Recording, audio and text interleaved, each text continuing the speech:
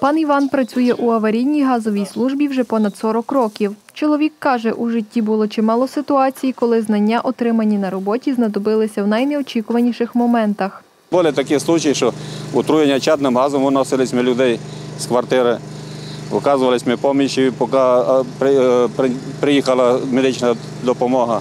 Були такі всякі у нас переключення. За 40 років всякі бувають.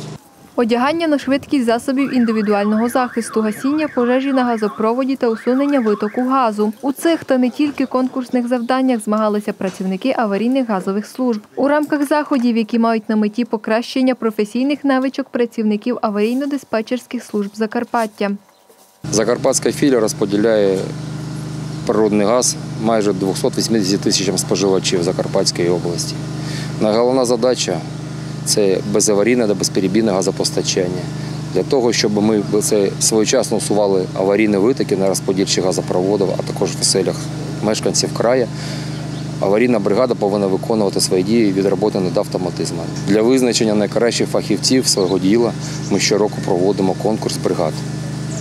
Сьогодні у нас початок аварійного конкурсу аварійних бригад, який буде проводитися три дні. Всі 11 бригад Закарпатської області будуть представлені в Горівському районі на своєму полігоні. Усі роботи мали бути виконані газовиками із дотриманням встановлених інструкцій та правил. За цим пильно стежила професійна конкурсна комісія. Сам конкурс складається з декількох етапів. Перший огляд технічного стану спецавтомобіля АДС та його оснащення необхідними матеріально-технічними засобами.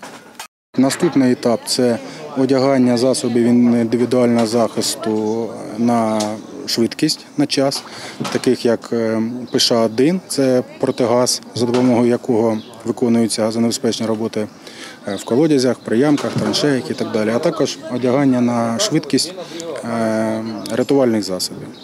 Значить, наступний етап іде перевірка теоретичних знань.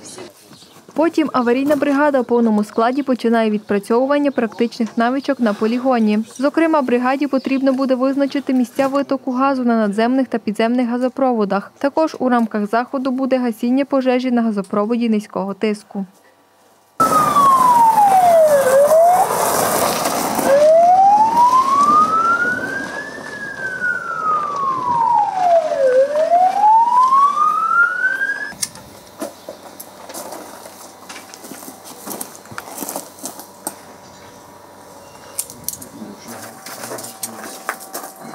Я принципиально, что я не могу